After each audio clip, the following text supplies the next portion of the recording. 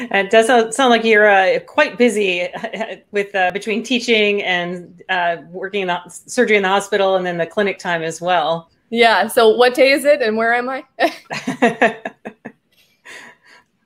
okay. I'm going to hop over here to another question from Aiden. And uh, they're asking, they recently started shadowing a podiatrist and they know it varies state to state, but what's the average salary for a DPM if that's something that you know?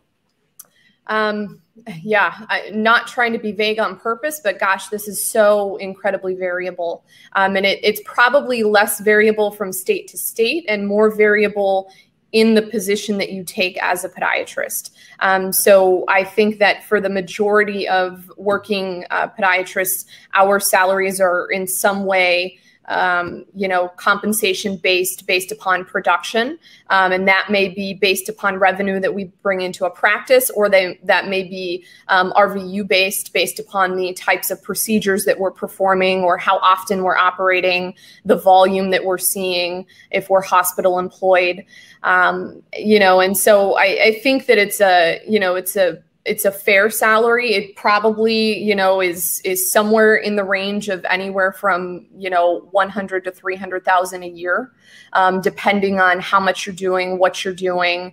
Um, and again, somebody who is employed by a big health system in a big hospital, um, you know, who may be in a in a more remote or rural location, uh, may be looking at you know two hundred and fifty thousand dollars a year. Somebody who's in private practice um, you know, who is really sort of hustling as far as patient care goes, may see a year where it's, you know, 75, 80,000 and may see a year where it's 350,000.